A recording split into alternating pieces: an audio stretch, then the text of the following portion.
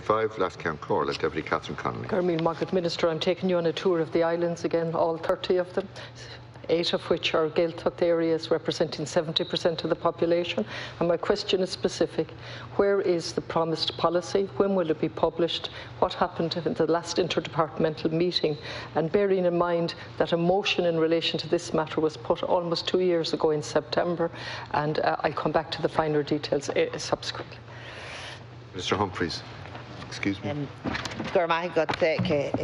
and uh, thank, thank you, Deputy Connolly, uh, for, for raising this uh, issue.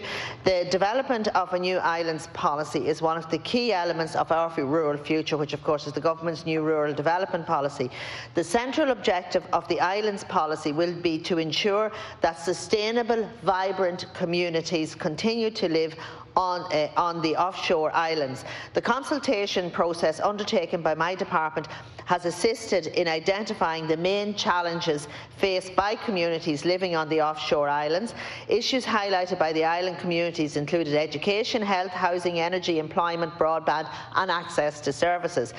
My officials are now engaging bilaterally with the relevant government, government, departments and agencies to discuss the issues raised by island communities and to assess how they might be addressed.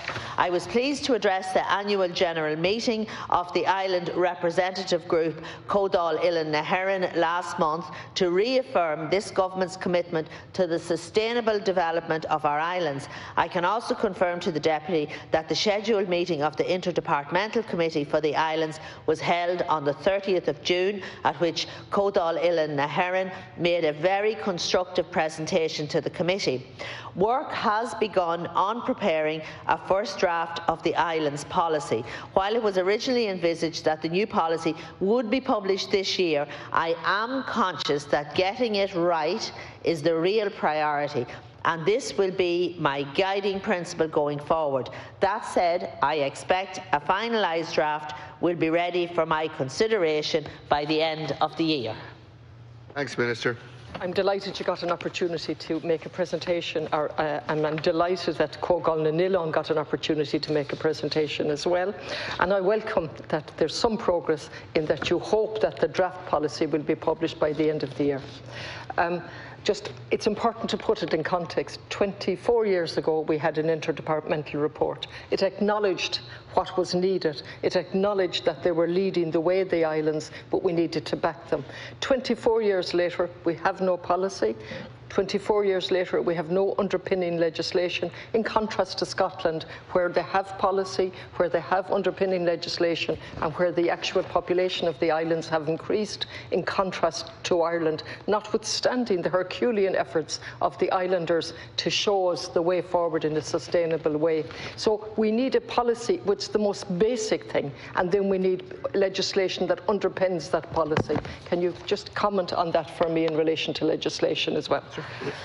Uh, and thanks, Deputy. And first of all, can I agree with you? I, I you know, I come from a landlocked inland county myself, uh, and I do hope you accept my bona fides that I'm absolutely committed to supporting island communities. In fact, it's my plan uh, to visit uh, a number of islands uh, the week after next and uh, to, to, go and meet them and to, to, have conversations with them and see firsthand the issues that, that the, and the challenges and opportunities as well that they are presented with. So, uh, as you know, I have approved the business case for Inisheer. Uh, I've met with uh, with uh, the Donegal. I'm meeting actually with the Don with Tory Island representatives. I think next week.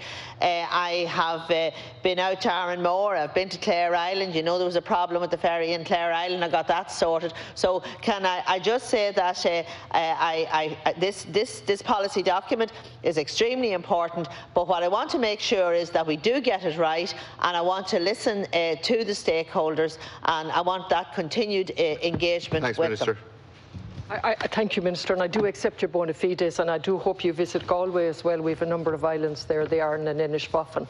And just if we look at Inishbofin, which has um, made huge um, progress in relation to ecotourism and dark skies, they're struggling for something as basic as a primary care centre. That's just one example. Yes, you have made progress in relation to the business case for Inisheer, and I welcome that. But there are many, many other problems on the ground. And what's not missing is not bona fides. What's missing is a policy and legislation underpinning it. And if we look, I've mentioned the interdepartmental report from 96, then we had a joint Oireachtas report from 2014, and then we had the West Cork Island study uh, covering the period 98 to 2004.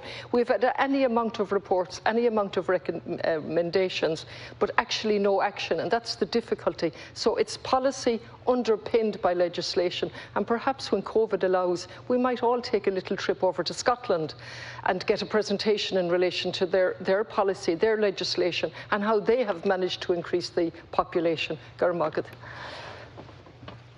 Thanks, thanks, Deputy. Yeah, I'm happy to, to uh, look at, uh, at the model in Scotland as well uh, and, and learn from uh, you know, the things that have worked for them.